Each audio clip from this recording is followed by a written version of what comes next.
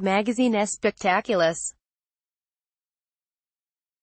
Tras conocerse la noticia del femicidio de la joven de 27 años, el turco y su mujer Emilia Atias prefirieron no hacer declaraciones públicas, pero la actriz rompió el silencio a través de las redes sociales el miércoles por la tarde.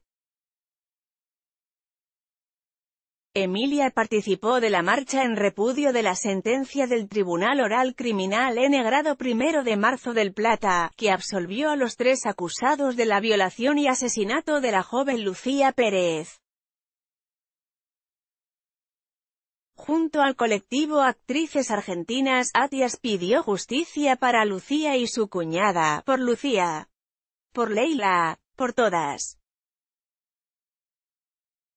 Basta de impunidad, expresó en Instagram junto a una imagen que la muestra en la marcha.